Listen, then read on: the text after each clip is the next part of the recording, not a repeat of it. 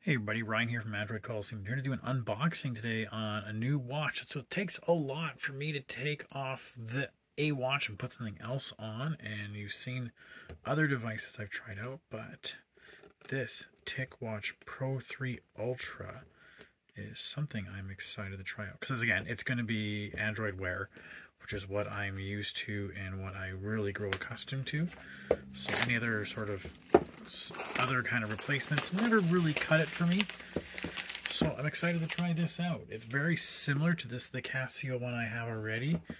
Um, meant for really a lot of outdoorsy activity, take a lot of abuse, and it's got that sort of passive display look that it should last a long time if you needed to turn off Android and actually have it as just a watch forever.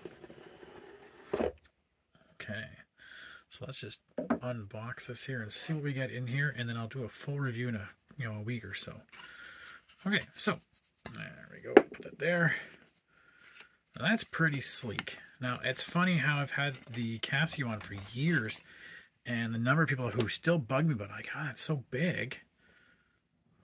That's not that much bigger. Oh, it's that much smaller. It's it is to be definitely be a lot thinner. Looks like we got our uh, heart rate sensors there. Now we have a magnet little strip there for the charging. Um, now that's going to kind of annoy me just because I like having it off to the side. I always found that ones that are up against my skin tend to lose cohesion or connection with that. Um, we'll look at that in a second. We got a charging, so there is a magnetic band here for the charger.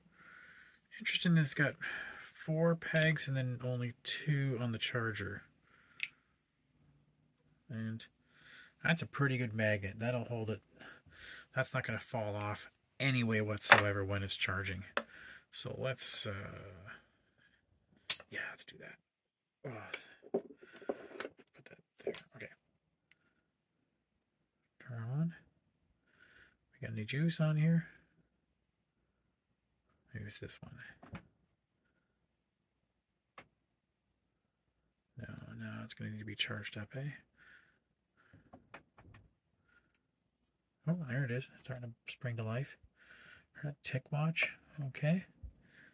Pretty neat. So, I mean, it's got the standard sort of activities of most, you know, Android watches, a gig of RAM, 8 gigs of storage. Um, you know, it's got the Snapdragon 4100 processor on it. I should take a look to see whether or not this is going to get 3 and Wear OS 3.0, but I doubt it. That's been a little stingy with Google with those. Uh, the dial isn't uh, adjustable, but uh, let me just take off the Casio, the Ultra Duty Pro Trek here, just to give you an idea of size different. Nice and fluid